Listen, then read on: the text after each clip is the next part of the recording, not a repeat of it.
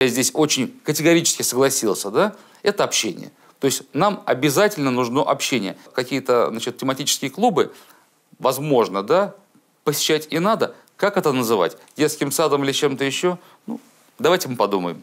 Интересное предложение. От себя добавлю, что скоро зима, и я обязательно буду вечером ходить кататься с горки. Причем вот просто на санках, там, на ледянках.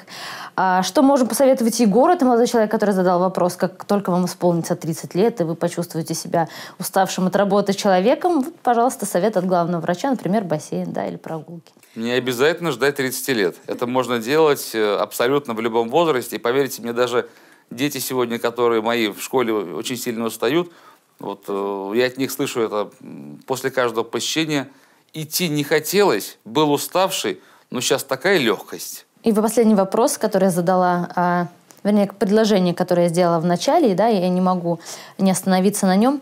А, можно ли принять такой закон, чтобы людям, чтобы попасть к узким специалистам, не обязательно было получать сначала направление от терапевта? То есть иногда, конечно, когда у меня что-то болит в животе, да, я не знаю, что это, к какому врачу пойти, конечно, иду в терапевту.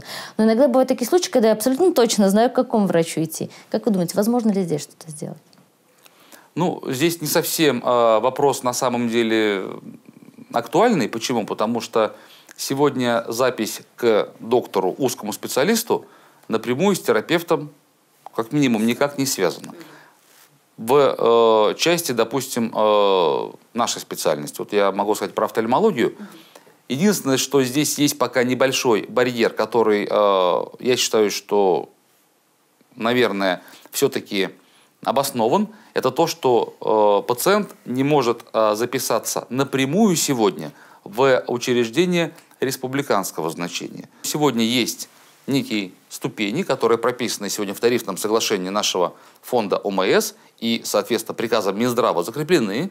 То есть пациент сначала попадает к узкому специалисту по месту жительства. Да, да. возможно, он ему сможет да, Потому оказать что помощь. в большинстве случаев эта помощь будет оказана именно там. Допустим, офтальмолог первичного звена может сделать практически все, кроме серьезных хирургических вмешательств. Ну, то есть пока, если я вдруг по месту жительства захочу записаться к офтальмологу, да, я могу получить талончик непосредственно в регистратуре. Если вы записываетесь к офтальмологу по месту жительства, то сделать вы это можете не только с талончиком в регистратуре, но и, что мы сегодня активно продвигаем и рекомендуем, воспользоваться электронной регистратурой или воспользоваться сайтом госуслуг, который позволяет это сделать, фактически не отходя от вашего компьютера. Ну что ж, спасибо. Я напоминаю, мы беседовали с депутатом Государственного совета Чувашии, главным врачом Республиканской офтальмологической больницы Дмитрием Арсютовым. Это была программа «Законодатели». До свидания.